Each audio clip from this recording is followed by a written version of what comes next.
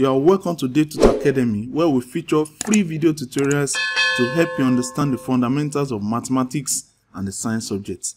We have comprehensive solutions to numerous past questions from various exams including WAEC, NECO, GCE, JAMB GED and IGCSE. These are aimed at preparing you to ace your exam with flying colors so that you can successfully build that great career you have always longed for. All you have to do is to just subscribe to DayTutor Academy and turn on that notification bell so as to set yourself on a path to excellence. And with that, we can head over to our video for today, okay? In this question, we are to solve the equation 2 raised to power x multiplied by 4 raised to power minus 7 is equal to 2 and 3 raised to power minus x multiplied by 9 raised to power 2y is equal to 3 simultaneously. Now, look at these two equations, okay? Look at these two expressions. In the first case, we have only x. In the second case, we have x and y.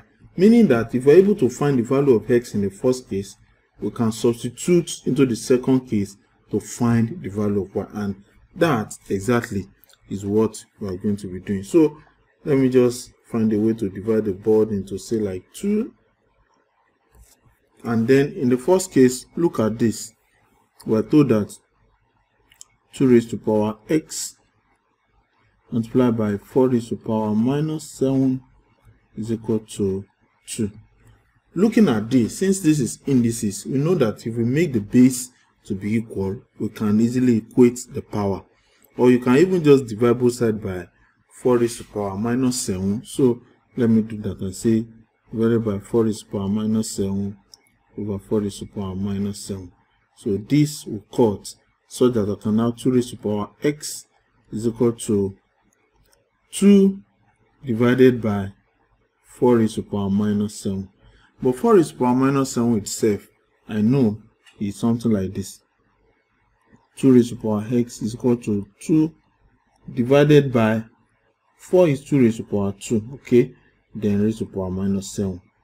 This is the operation of powers of indices that can help us to express all the bases together. So I can further say this is 2 raised to the power x to be equal to 2 now divided by 2 raised to power 2 or raised to power minus 7. I can multiply the powers to give me 2 raised to power minus 14. Okay.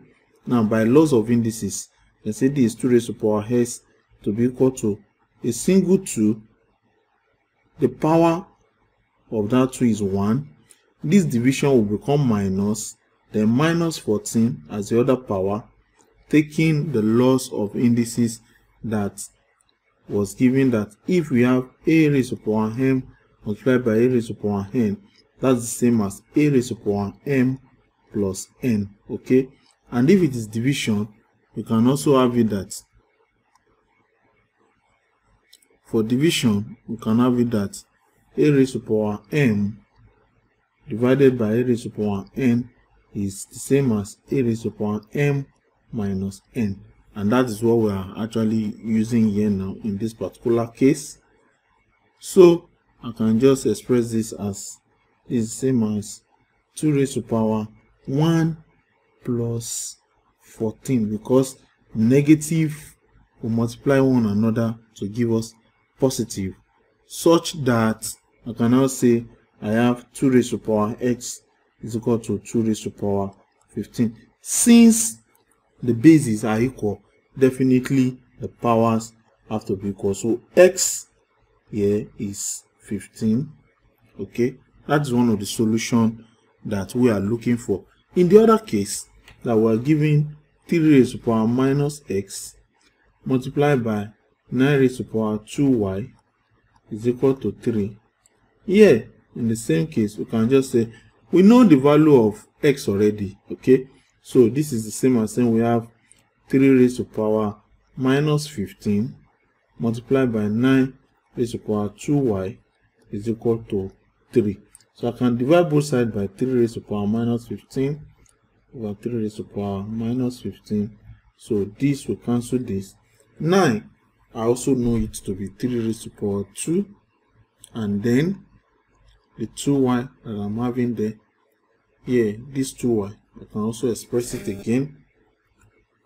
Then having done that i know this is 3 divided by 3 raised to the power minus 15 and this is 3 raised to the power 1 just like we found the other time. I can open this bracket to say this will now be 3 raised to the power 2 times 2y that is 4y is equal to 3 raised to power 1 minus minus 15 okay so that is going to give me 3 raised to power 4y is equal to 3 raised to power 1 minus minus 15 again i can just easily express that out to be 3 raised to power 1 plus 15 okay and 1 plus 15 is nothing but 16 and since the bases are equal i can say this implies that 4y is equal to 16 to solve for y i can divide both sides by 4 so 4 can cancel 4 here. 4 here 1 4 in 16 4 therefore y is equal to 4 so the solution to the equation that we're given that we should solve simultaneously is nothing but that x is 15 and y is 4 and you can also try some many processes to also try and solve questions like this whenever you come across them but here the answer is x is 15 and y is 4